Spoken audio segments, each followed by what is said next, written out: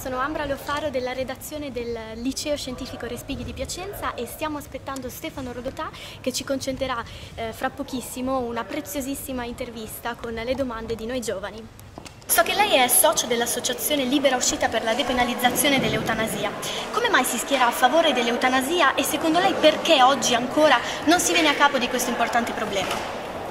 Che non sia il tema centrale in questo momento è anche vero, perché ciò su cui noi stiamo discutendo è la possibilità di ciascuno di prendere delle decisioni sul fine vita rifiutando le cure non gradite. Quindi non tanto l'eutanasia, non tanto il suicidio assistito, quanto piuttosto l'espansione giusta del governo del nostro corpo e della nostra vita in tutte le sue fasi. Se poi si arriverà eh, anche a questa discussione estrema come è avvenuto in altri paesi e come continua ad avvenire in altri paesi, credo che questo sarà un passaggio importante, ma oggi il tema non è quello e il discorso pubblico-privato in questa materia ha una sua forte, eh, una sua forte incidenza. Perché? Perché un potere pubblico vuole sostituirsi alla volontà del privato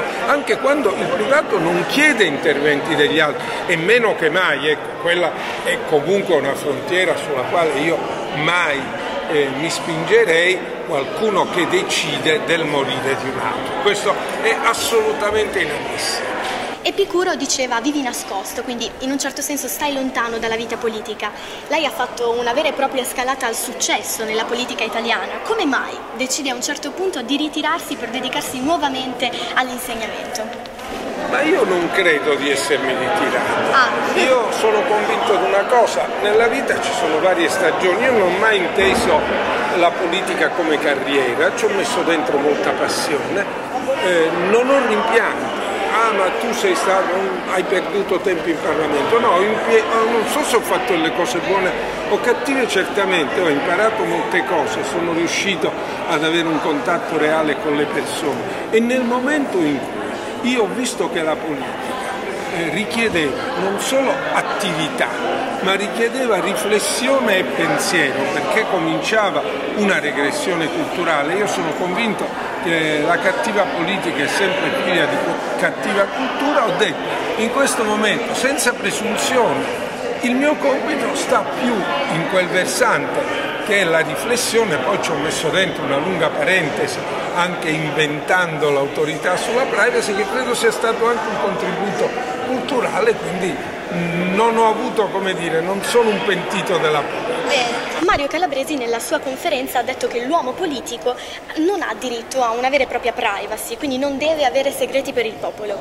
Lei che è stato presidente dell'autorità garante per la protezione dei dati personali, cosa ne pensa a proposito? Ma guardi, non solo penso che Calabresi abbia detto una cosa assolutamente corretta, ma quando io ho dovuto scrivere Garante ha dovuto scrivere insieme all'ordine dei giornalisti un codice di deontologia, quando siamo arrivati alle cosiddette figure pubbliche, che sono i politici in primo luogo, abbiamo detto che sulla scorta e sulla scia di quello che è una eh, diffusa e consolidata tradizione degli Stati Uniti, che il politico ha una minore aspettativa di privacy. E che eh, per due ragioni perché i cittadini devono avere la possibilità di controllare, perché la fiducia che si dà a un politico richiede una piena conoscenza. Secondo, poiché il politico usa il proprio privato per avere consenso, per esempio appare in pubblico con la sua famiglia, è chiaro che poi a un certo punto non può dire io alcune informazioni ve le do perché sono quelle positive e altre che sarebbero negative invece ve le leggo. E questa è la ragione. Nella nostra società l'ambiente politico sembra tutto corruzione agli occhi di noi giovani.